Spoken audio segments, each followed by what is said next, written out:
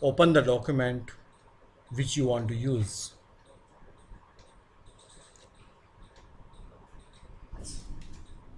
Go to settings,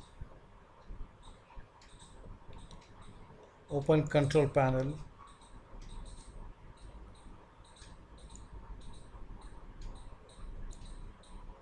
ease of access, speech recognition, click text to speech.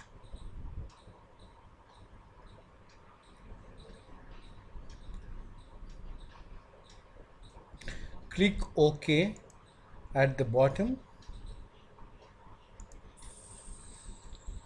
Then minimize this window.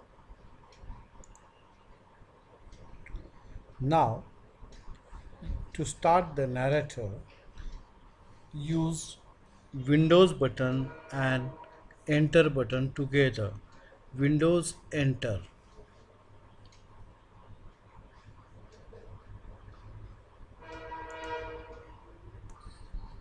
Click commands. Under commands you will find this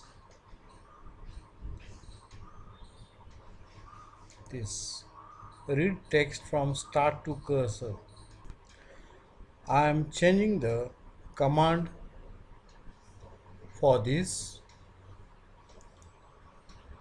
I am making it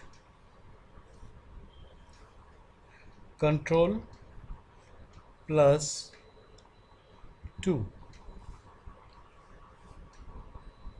and say save changes. Minimize this. Bring the cursor here and press Ctrl 2. It will read the text. The narrator will read the text I am a good boy.